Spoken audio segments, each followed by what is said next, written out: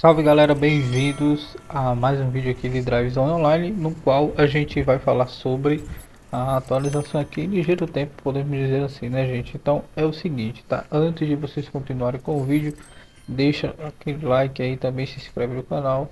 Você que não é inscrito, não esquece também de ativar o sininho de notificação, tá? Galera, vamos seguir rumo aí a 5 mil inscritos no canal, nunca foi pedir isso, mas agora eu tô pedindo, né? Por que não? Então... É, sabemos que ontem o, o, próprio desenvolvedor do jogo aí mostrou, né, um, um carro, podemos dizer assim, um carro, a gente adivinhar qual vai ser, porém, obviamente é um Dodge Viper CRT, não sei se é assim que se fala, o SRT, não sei, sei que é um Dodge Viper, teve gente que disse que era um Covert, mas está na cara que é um, um na minha opinião, é um Viper. Tá? Inclusive, eu não sei se eu terei print aqui. Dá licença que a gente vai mostrar. E, também a gente vai falar sobre uh, os outros carros. Beleza? Que vai vir na próxima atualização. Deixa eu ver. Bom. Olha isso aqui, gente. Olha isso aqui se não é um Viper. Não tem como isso ser um Covest. E é o Viper dos antigos, viu? Isso aqui, isso aqui é o Viper dos antigos. Certeza. É um Dodge Viper. Beleza? Então, o próximo carro que vai vir na update aí da, da do Drive Zone Online, inclusive, infelizmente já está atrasado. O próprio desenvolvedor do jogo tinha passado para mim. Ele realmente não disse aí a data certa, mas seria entre uma ou duas semanas. Já se passaram duas semanas ele também falou que seria mais além, dependendo aí da plotagem, que no caso eles estão adicionando mais coisas. Vai vir expansão, né? Teremos a expansão do mapa. Inclusive a gente vai até dar uma olhada no vídeo aqui. Tá? Teremos expansão do mapa, teremos NPC no mapa que são carros é, aleatórios e teremos, né, quatro carros. Vamos ver o vídeo. Aqui ele tá com um carro aqui fazendo drift. Né? Novo peça. Outra coisa que eu quero frisar aqui para vocês. Cadê? Cadê? Pera aí, deixa eu pausar. Deixa eu ver se eu consigo pausar.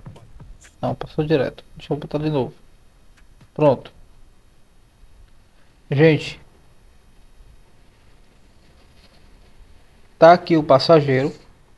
Não, tá aqui o piloto, o motorista e do lado está um passageiro.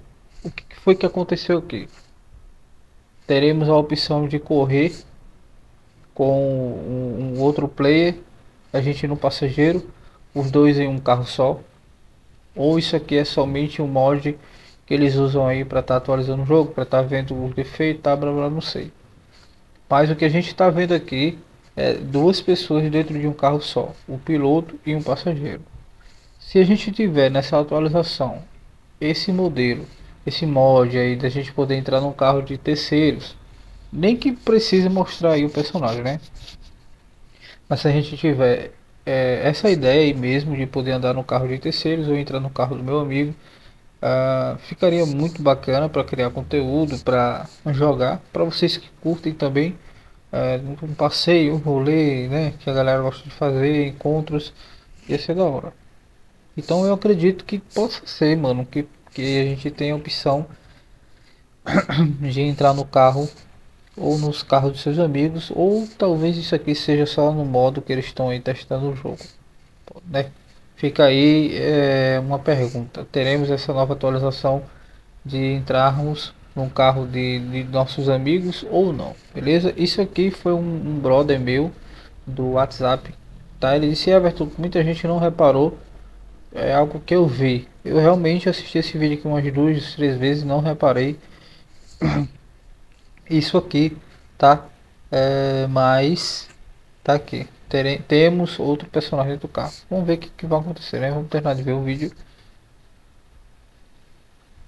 Ok. Os NPC. Inclu a outra coisa. Não tem como bater no NPC, tá, gente? Pode ver que ele vai passar por dentro, ó. Não bate. Então, eu achei isso paia, na minha opinião, era para ter colisão, mas não vai ter. Ou possa ter que possa ser que tenha aí uma configuração para ter colisão.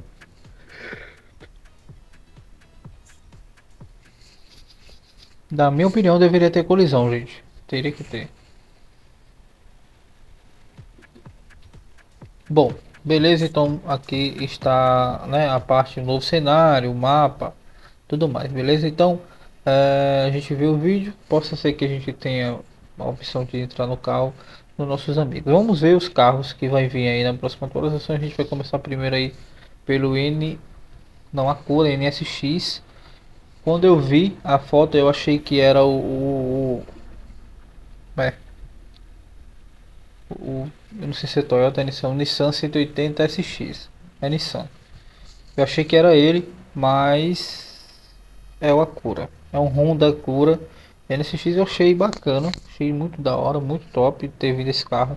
É um carro que muita gente quer nos outros games mobile e a gente mal tem. Na verdade não tem, né, mano? Inclusive no Car Multiplayer muita gente quer esse carro é, no game, mas não vem, mano. Infelizmente, mas aqui tá a cura. É, um dos carros que vai vir na próxima atualização 0.6.0 aí do Drive Online. Eu acho que isso aqui vai ser container tipo R34, tipo R35, o, o Supra. Porém, se ele ficar no nível ali do uh, do Aston Evolution ou da DM600, isso aqui vai valer muita grana. Eu espero que não, porque a galera exagera muito, é muito dinheiro uh, no carro. Eu espero que seja um carro popular como o R34, Supra uh, e outros aí que a gente tem mais acesso, lembra? Não é tão caro. Custei 20 milhões, 25. Dá pra gente conseguir essa grana.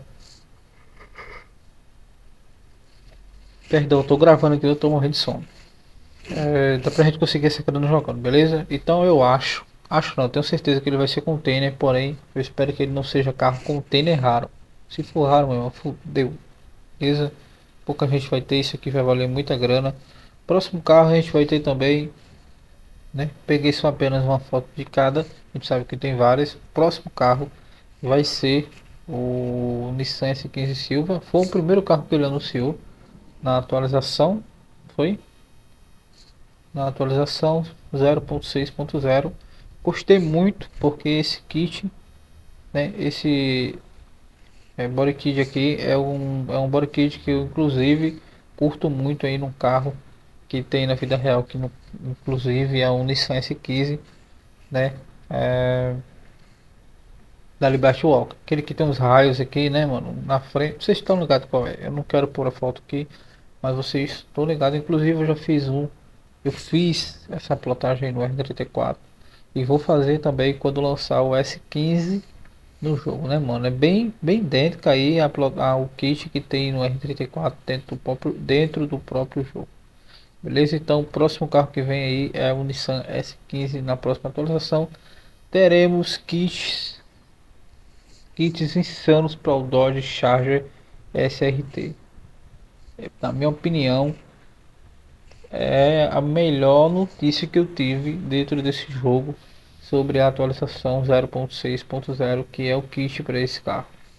Aerofólio bem parecido com o do Mustang, mas isso aí não importa. Vai ver muito design para esse carro acho que é uns 3 ou 4 design de kit. Teremos máscara preta aí dos faróis. Uh, outra coisa teremos rodas novas dentro do jogo. Tá gente não sei a quantidade a gente não sabe mas a gente vai ter rodas novas também não, te, não sabemos se, se vai ter kit.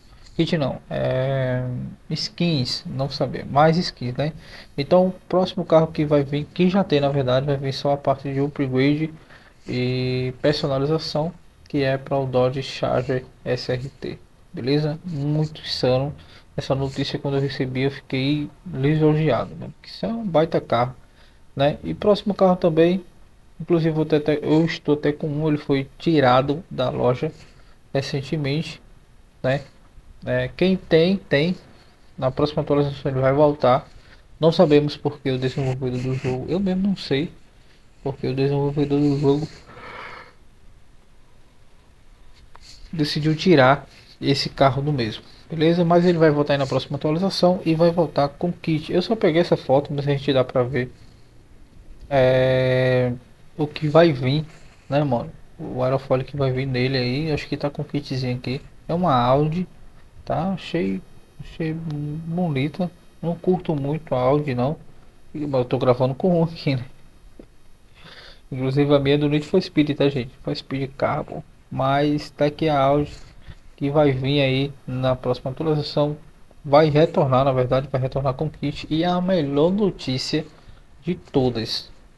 A melhor notícia de todas é a chegada do Dodge Viper no Drive Zone. O Drive Zone tem uma, um baita gráfico, né? E na minha opinião, para um game mobile é um gráfico insano, né, gente? Para a gente ter aí então eu espero, todos nós esperamos que o Dodge Viper venha detalhadíssimo para que a gente possa usufruir, né, velho? E outra coisa, né, falando aqui para vocês, mano, isso aqui tem que vir funcionando, tá? A gente vai entrar aqui no carro.